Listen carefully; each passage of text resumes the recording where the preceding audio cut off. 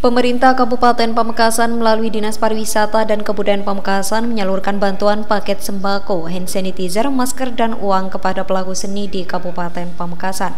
Bantuan tersebut diserahkan langsung oleh Wakil Bupati Pamekasan Rojai didampingi Kepala Dinas Pariwisata dan Kebudayaan Ahmad Syaifuddin di kantor di Sparbut Kamis pagi.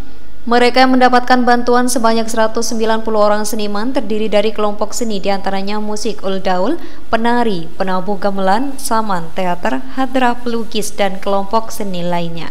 Pembagian bantuan ini dilakukan sesuai SOP protokol kesehatan termasuk physical distancing.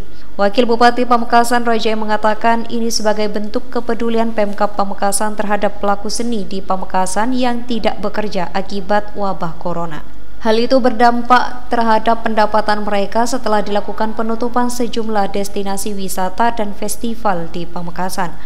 Bantuan ini diharapkan dapat membantu meringankan pelaku seni di Kabupaten Pamekasan selama wabah COVID-19.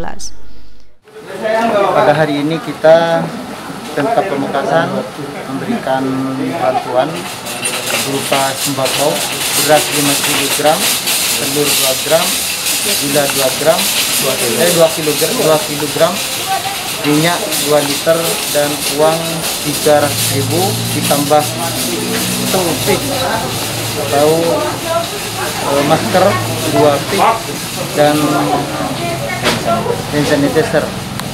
Ini adalah bentuk kepedulian tanpa Pamekasan terhadap pelaku seni di Kabupaten Pamekasan karena sejak COVID-19 ada beberapa kegiatan seni, terutama yang bekerja sama dengan Pemkap ataupun dengan beberapa masyarakat ini sudah betul-betul terhenti dan memang vakum sehingga kemudian pendapatan mereka menjadi berkurang dan bahkan tidak memiliki pendapatan sehingga ini bentuk kepedulian walaupun hanya berbentuk model begini seperti ini semoga bisa membantu para pelaku seni di Kabupaten Pamekasan.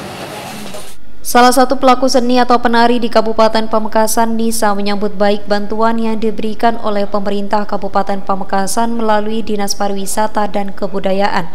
Ini merupakan bentuk kepedulian terhadap pelaku seni di Pamekasan yang telah kehilangan pendapatannya selama satu bulan ini akibat penyebaran virus corona.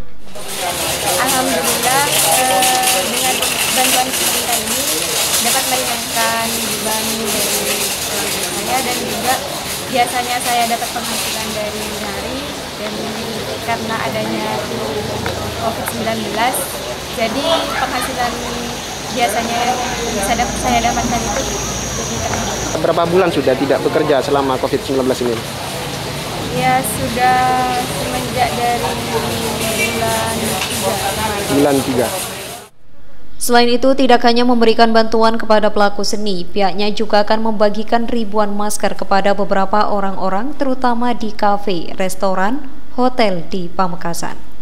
Muhammad Hasan, CTV.